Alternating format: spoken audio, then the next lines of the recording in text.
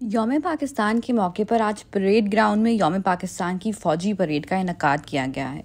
इस मौके पर इस्लामी ताबन तंजीम के मुआजीन भी मौजूद थे।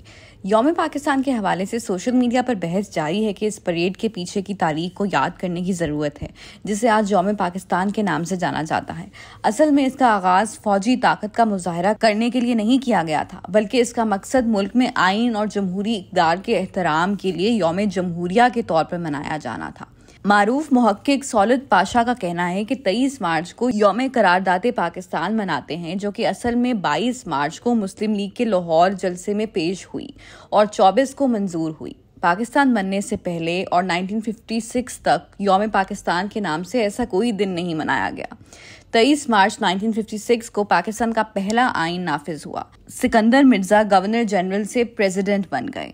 1957 और 1958 की 23 मार्च को इसे योम जमहूरिया पाकिस्तान के तौर पर मनाया गया। अक्टूबर 1958 में मुल्क में मार्शल लॉ लग गया। अब 1959 की 23 मार्च करीब आई तो परेशानी हुई कि फिल वक्त तो पाकिस्तान जमहूरी मुल्क नहीं तो योम जमहूरिया कैसे मनाया जाए? जिस आइन के नफाज के दिन के लिए ये दिन मनाते हैं, वो ही एब्रोगेट हो गया। ताहम ब्यूरोक्रेट हर मसले का हल जानते हैं। उन्होंने फैसला किया कि इस दिन को योम करार दाते पाकिस्तान के तौर पर मनाया जाएगा। जब से ऐसा ही चल रहा है।